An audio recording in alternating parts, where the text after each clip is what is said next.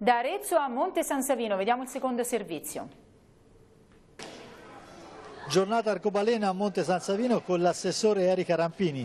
Sì, abbiamo anche noi aderito a questo evento regionale di una giornata, ehm, un aperitivo in tutte le città toscane grazie anche alla partecipazione della Proloco e poi come vedremo anche dei commercianti delle strade del vino. È un momento di ritrovo anche per i savinesi e per i turisti. Con una bellissima location e soprattutto questa bellissima loggia dei mercanti del Sansovino. Sì, abbiamo voluto sfruttare quelle che sono il nostro, il nostro patrimonio, le nostre bellezze e quindi quale miglior luogo che le logge dei mercanti انت Iniziamo subito questa scoperta, cosa offre Monte San Savino per questa giornata indimenticabile. Abbiamo organizzato un aperitivo, una, una mostra eh, vintage con DJ set, al centro sociale Ciaperone è stato presentato un libro che parlava eh, degli anni 50 e 60 attraverso delle interviste e eh, saranno aperti monumenti, sinagoga, ehm, Torre Civica e Santa Chiara eh, fino alle ore 21, un'apertura straordinaria per consentire eh, ai savinesi di scoprire scoprire le proprie bellezze che magari non le conoscono, ai turisti di vedere cose che normalmente sono chiuse.